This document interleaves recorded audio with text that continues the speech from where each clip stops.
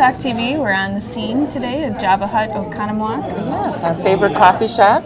And now we have one of our favorite uh, authors and uh, ministry men here, Daniel Fazzina. Yeah. Hi, thank you so much for having me. Welcome. Daniel's come all the way from New York to join us here at Faith Talk. And also, I understand you're um, best friends with Bruce Vanatta, who's another friend Yeah, of Kim good and mine as well. So Yeah, very amazing guy.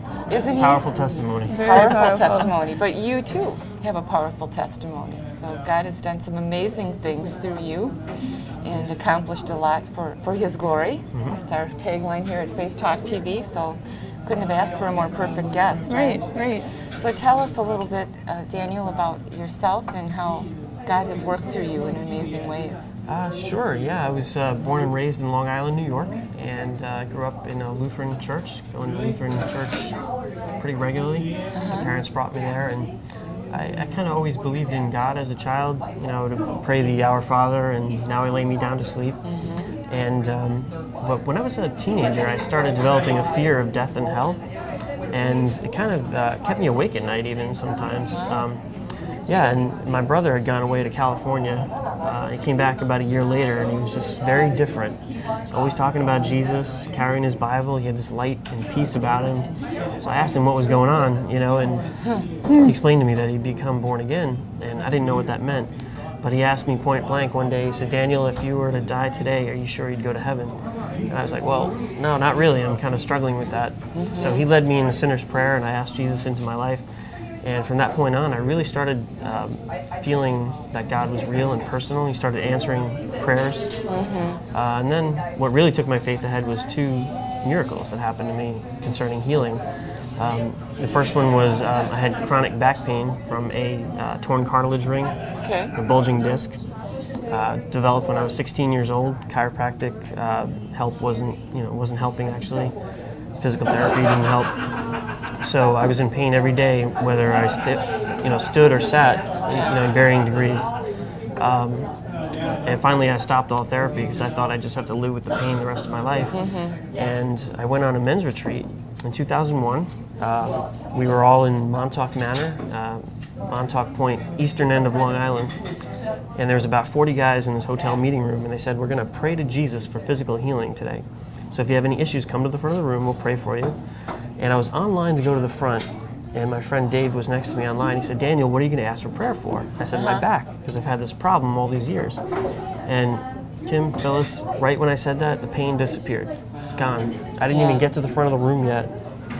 God's Holy Spirit was there, and I was bending and twisting, and it was gone. I've been okay since. Uh, it was 2001.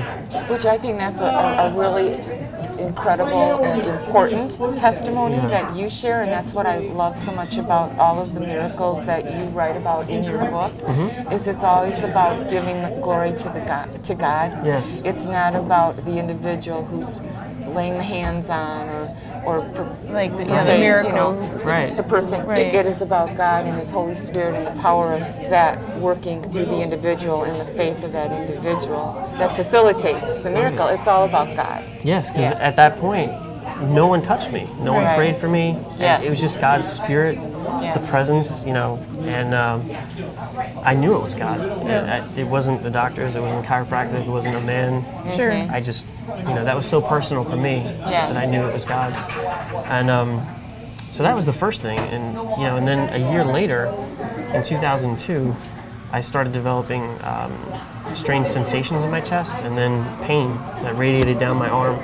And I thought I was having like heart trouble, maybe a heart attack or something. And I was 27 years old at the time, so it was really bizarre. Sure. Uh, I went to get that checked out. Um, EKG readings came back slightly off. They sent me to the ER. Many scans, uh, X-rays came back negative. Finally, they took a CAT scan, and the doctor came in uh, and he said, "We found something, and it's a rather large mass in your chest." So I'm thinking, you know, how large is large? And I Right, asked him, and he said it's grapefruit sized. And I was thinking, well, it's my favorite fruit, but I certainly don't want it in Yeah, my right, chest. right. Chest, right. Yeah, so um, he told me to get it evaluated, which I did, and it came back as lymphatic cancer, lymphoma. It was inoperable. Uh, they said, we'll give you treatment, but we're not sure if it's going to respond. If it doesn't, you'll be dead within three weeks to three months, three months at the most. Um, so, you know, what do you do when you get a diagnosis like that. You know, it, was, it was shocking. Um, but long story short, I had many different types of treatments. I had six rounds of chemo, and uh, I had intravenous vitamins and minerals. I had Laetrile, chiropractic, acupuncture, Ev- massage, you name everything it. known to, yeah, right. And you know, what the, one of the amazing things was that six months prior to this diagnosis, I started an exhaustive search and study on the cancer industry and the drug industry, just because I thought it was fascinating. I had no idea anything was wrong, but I felt like God was preparing me in some way. You know, just I was doing all this research, and then lo and behold, I get this diagnosis. So um, they were going to take a, uh, a scan halfway through the treatment. So I was getting chemo once a month for, for six months. And at the three month mark, they took a scan hoping that the tumor would be smaller.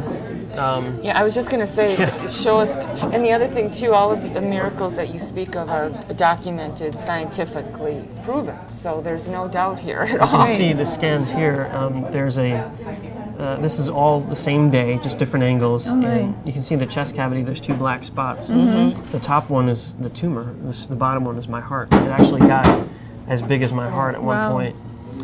Um, and I, I was, you know, there's a point I was just totally a broken man, lying in my hospital bed. And I said, God, you know, I know I'm your child. If you want to take me, I'll go with you. Yes. Because the Bible says that to be absent from the body is to be present, Present with, with the, the Lord. Lord. And I believe that. Yes. And I said, Lord, if you want to heal me and, and let me live, I'll just do my best to share with the world. Mm-hmm. Excuse me. I'll just do my best to continue to serve you Mm-hmm. and share with the world your goodness and your grace and your love and your mercy. Be obedient. Yeah, I mean, at that point, what else could I do? It was really out of my hands. Um, so at the three month mark, they took another scan. And again, they were just hoping that it would be smaller. Mm-hmm. But as you can see, it came back completely negative. There's only one black spot in my. And that's your heart. That's my heart. Yeah. The doctors were. I mean, my, my oncologist was pleasantly surprised. Yeah. He was Uh-huh. Yes. reserved, but he Yes. said, you know, you definitely came through it faster than most with less side effects than Sure. most. The nurses were like, you know, we don't see this that often. This Sure. is amazing. It- It's a miracle. Yeah, it's a praise miracle. So that's that's an incredible story. Thank you. Yeah. And so, as a result of the miracle that you experienced, had you already been led to uh, research and find others who had experienced the miracle? What, what was the the order of that? Yeah. Yeah. Um, when I came back to work, uh, I was working at a TV station. I'd been out for months, and when I came back and I shared the story of what I went through, and there's a lot more to it. Sure. Um, long story, a lot of miracles that happened, and the way that God orchestrated things and took care of me.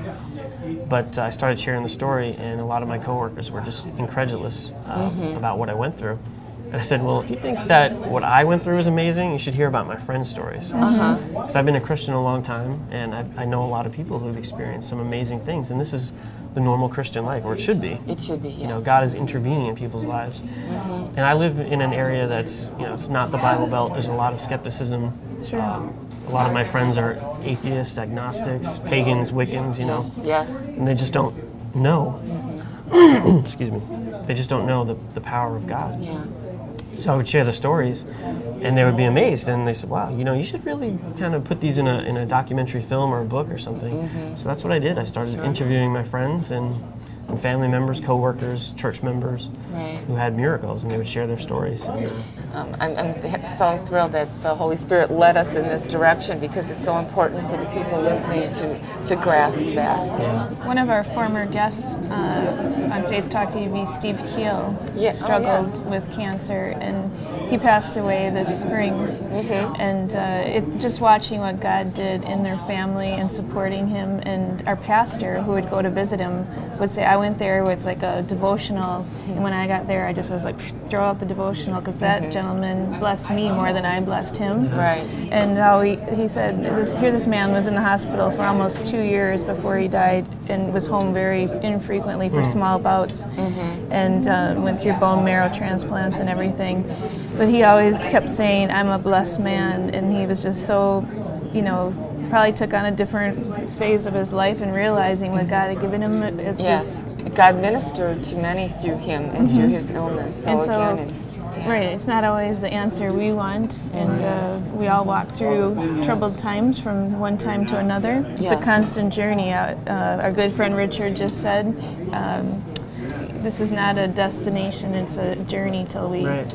Right. And you know, I realized looking back, because people ask me, how come you got sick? Why did this happen to you? You know, I'd never smoked or drank or abused my body really, and you know, people would ask me, well, why did God give this to you? And I was like, I don't know why God gave it to me, or if He did, but I know He used it for good. Know, the Bible says in Romans 8:28 that all things work together for the good of those who love the Lord, and that's one of the scriptures that I really held on to. Yes. And looking back, I realized that it really wasn't about me at all.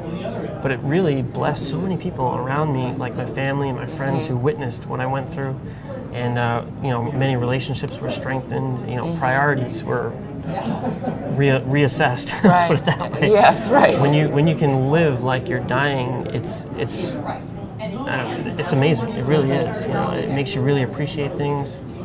And God did a work in me, a huge work. To, he broke me of my pride and my Mm-hmm. independent spirit, and just, you know, I was like, you know, God, hmm. I'm broken, and Yeah.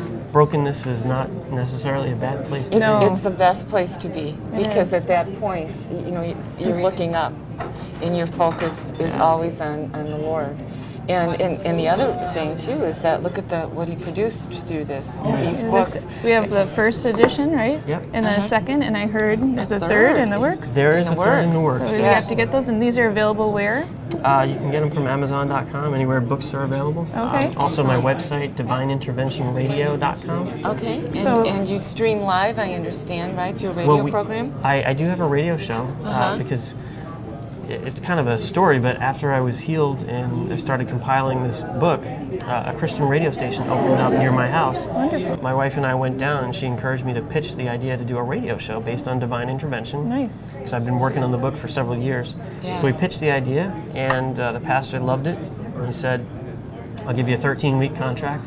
I had to buy airtime too, which I didn't have the money for, so it was a real step of faith. It was like Yes. 500 bucks a month or something. Yes. Um, but anyway, we did about three or four episodes, and he said, "I love what you're doing. You don't have to pay me anymore. Just keep doing it." Oh, what a Um, so, blessing. yeah, we did That's a total blessing. Divine Intervention Great. Radio de- debuted in April of um, or May of 7 Mm-hmm. or April of 07. The book came out in May, and since then the, the show got picked up in a few states. It's in three states right now, and about five or six stations. I think it's really interesting too. A, a scripture that came to me yesterday was Joshua 1 9, which I, I believe says, you know, don't be discouraged.